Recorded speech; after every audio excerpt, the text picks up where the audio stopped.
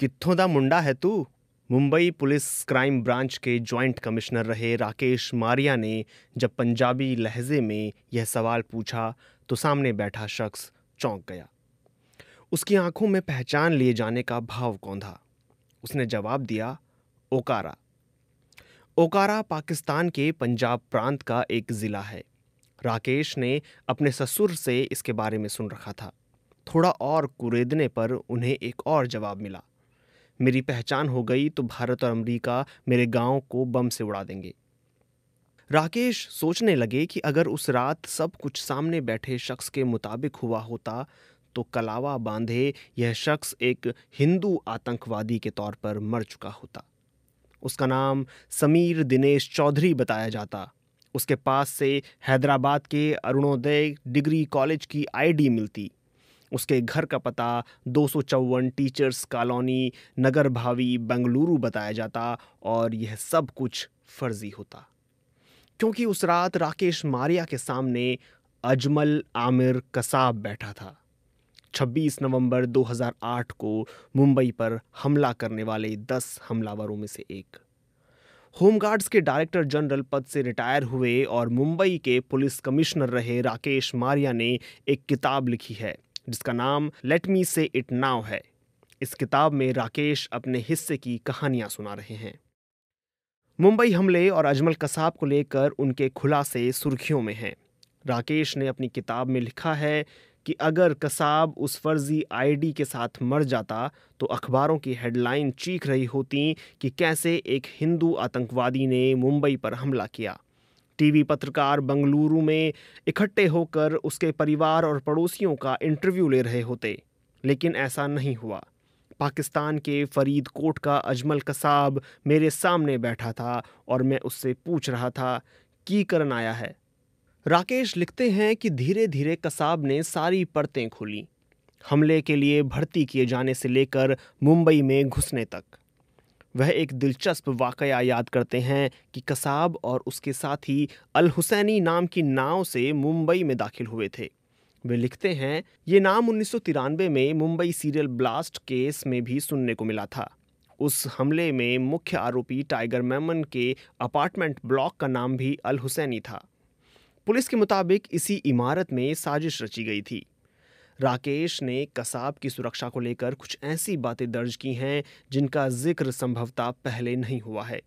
वे लिखते हैं, crime branch के जॉइंट कमिश्नर के तौर पर कसाब को ज़िंदा रखना मेरी सबसे बड़ी प्राथमिकता थी। लोगों और अफसरों का उसके प्रति बर्ताव देखते हुए मैंने उसके गार्ड्स खुद चुने थे। आईएसआई और लश्कर उसे किसी भी तरह खत्म करना चाहते थे, ताकि हमले के इकलौते ज़िंदा सबूत को मिटाया जा सके। हमें भारत सरकार से खत मिला कि कसाब की सुरक्षा की पूरी ज़िम्मेदारी मुंबई पुलिस की क्राइम ब्रांच पर है। केंद्रीय जाँच एजेंसियों से मिली जानकारी से पता चला कि पाकिस्तान ने कसाब को मारने का काम दाऊद इब्राहिम गैंग को दिया था। उसे कुछ हो जाता तो सिर्फ़ मेरी नौकरी ही नहीं, बल्कि मुंबई पुलिस की प्रतिष्ठा दांव पर थी। कसाब की दो तस्वीरें इंटरनेट पर खूब इस्तेमाल होती हैं। हाथ में ए के सैंतालीस लिए, कसाब की एक तस्वीर जो छत्रपति शिवाजी टर्मिनस की है और दूसरी फ़ोटो मुंबई के एक पुलिस थाने की है। उस दूसरी तस्वीर के बारे में मारिया लिखते हैं, हमने बहुत सावधानी बरती कि उसकी फ़ोटो ना खींची जाए और कोई फ़ोटो मीडिया के पास ना जाए। जब कुर्सी पर बैठे कसाब की फ़ोटो मीडिया में चलने लगी तो हमें झटका लगा। मैंने सभी अफसरों को किनारे बुलाकर पूछा, गद्दार कौन है? सबने इनकार किया। उनके चेहरे से पता चल रहा था कि वे सच बोल रहे हैं। फिर उन्होंने बताया कि केंद्रीय एजेंसियों ने कसाब से पूछताछ के लिए अपना एक अफसर मुंबई भेजा था। मारिया के मुताबिक तस्वीर से सरहद पार यह संदेश भेजना था कि सबसे बड़ा सबूत जो खुद कसाब है, वह भारत के कब्ज़े में है। यह इसलिए महत्वपूर्ण था क्योंकि पाकिस्तान हमले की ज़िम्मेदारी लेने से इनकार कर रहा था। पाकिस्तान ने शुरुआत में कसाब को अपना नागरिक मानने से इनकार कर दिया था। हमले के कुछ महीनों बाद पाकिस्तानी सरकार ने कसाब के पाक नागरिक होने की पुष्टि की। फिर एक स्थानीय न्यूज़ चैनल ने बताया कि कसाब मध्य पंजाब के फरीदकोट गाँव का रहने वाला है। मुंबई हमले में एक सौ छियासठ लोग मारे गए थे। अजमल कसाब को 312 मामलों में अभियुक्त बनाया गया था। स्पेशल कोर्ट ने उस पर छियासी आरोप तय किए थे और 6 मई 2010 को उसे मौत की सज़ा सुनाई गई थी। तमाम कानूनी अधिकार आजमाने के बाद 5 नवंबर 2012 को राष्ट्रपति ने कसाब की दया याचिका खारिज कर दी थी। फिर 21 नवंबर 2012 को सुबह साढ़े सात बजे पुणे की यरवडा जेल में उसे फांसी की सज़ा दी गई। मारिया लिखते हैं, कसाब को बचपन से बताया गया था कि भारत पाकिस्तान का दुश्मन है। उसे भारत और दुनिया की कोई खास जानकारी नहीं थी। उसे भरोसा था कि भारत, अमेरिका और इसराइल पाकिस्तान और इस्लाम के दुश्मन हैं। उसका मानना था कि भारत में मुसलमानों को नमाज़ नहीं पढ़ने दी जाती और अधिकारी मस्जिदों में ताला लगा कर रखते हैं। क्राइम ब्रांच के लॉकअप में जब उसके कानों में अजान की आवाज़ पड़ती तो वह उसे अपनी मनगढ़ंत कल्पना लगती। इसका पता चलने पर मैंने एक गाड़ी में कसाब को मेट्रो सिनेमा के पास वाली मस्जिद ले जाने को कहा। अपनी आँखों से लोगों को नमाज़ पढ़ते देखकर वह हक्का बक्का रह गया। कसाब पर केस चलने के दौरान 2008 में बीबीसी संवाददाता अली सलमान कसाब के गाँव पहुँचे थे। बीबीसी ने ही पहली बार उनका घर दिखाया था।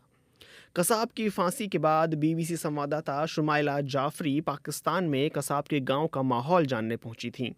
वहाँ लोगों ने शुमाइला जाफरी से ढंग से बात नहीं की। कसाब का घर पूछने पर कुछ बच्चों ने शुमाइला को एक घर की तरफ़ भेजा। घर में सन्नाटा पसरा था। कैमरा पर्सन के घर की तस्वीर खींचने के दौरान कुछ लोग वहाँ पहुँचे और बीबीसी टीम से लौट जाने को कहा और गली में मौजूद लोगों ने कसाब से जुड़ी कोई भी जानकारी होने से इनकार कर दिया। स्थानीय लोगों का कहना था कि वहाँ कसाब नाम का कोई शख्स रहता ही नहीं था। उनके मुताबिक यह पाकिस्तान को बदनाम करने की एक अंतर्राष्ट्रीय साजिश है।